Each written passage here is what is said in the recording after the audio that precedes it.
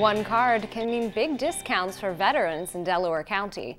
I'm Jill Horner. This is Comcast Newsmakers. With me is Mario Civera. He is Vice Chairman of the Delaware County Council. Thanks for being with us. Well, thank you for having me. We're talking about a veteran's identification card, and you say this is a great opportunity for veterans in the county to sign up for this card in order to receive some big discounts. But talk to us a little bit about the idea behind this ID card. Well, the idea started about two years ago where we had believed that the veterans, as they come off the military and come back into, into civilization, that they had, we could give them something as far as either the state government or the county government.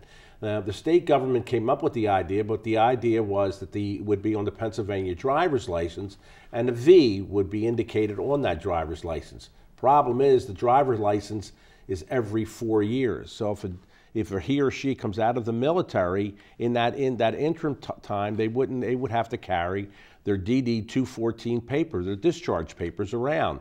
So the county partnered with the state and came up with the idea that they would issue a veteran's ID card, which the state welcomed very, very much. We started the program in this past November. We have presently over 790 veterans that have signed up for it, and we're out there seeking retailers to participate in the program. We can go anywhere from 2%, 3%, 5% to 10%. The box stores are involved, the local delicatessens are involved, uh, local retailers. It's just a great idea to help our veterans you know, adapt back to when they come home from the from the military. And you mentioned that retailers are getting on board. A wide variety of businesses have already signed up, but you are looking for additional participation. But let's focus on how veterans can sign up. Now, you mentioned that some younger veterans have already started with participation after they have come back home uh, from serving abroad. But veterans of any age can actually sign up for this program. All you need is your DD-214, your discharge papers. But if you don't have those papers, you can actually actually help people acquire that paperwork, where do people bring their paperwork in order to get this card? Great question. Delaware County in the courthouse, you go. We have a veterans department. When you come into the government senator, build, center building, turn to your left and you'll see a, bi a building there. You go into that room.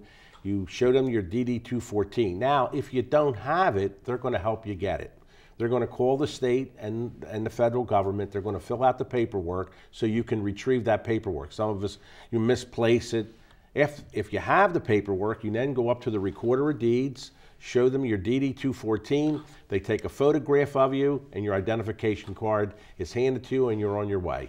Now once we have this card and, and you have a card yourself, you are a veteran of the United States Air Force, once veterans do have this card, they just have to present this card at retailers in order to receive some of these discounts that we've talked about. That's correct. That's correct. It's as simple as that. I mean, it's something that we're all proud of doing, and even the retailers are glad to participate in it.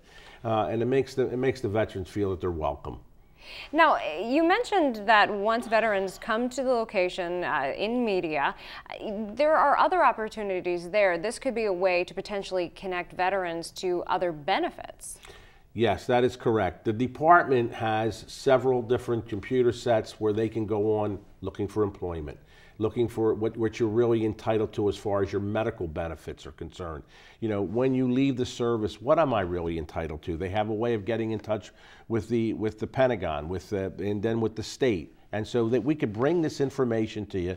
It's basically a one-stop shop idea and really helps the veterans on, on their way. Thanks so much for being with us and veterans can reach out to find more information about getting one of these ID cards and retailers can as well to sign up to participate. Thanks for being with us. Well, thank you. We've been talking with, with Mario Civera. He is Vice Chair of the Delaware County Council. I'm Jill Horner.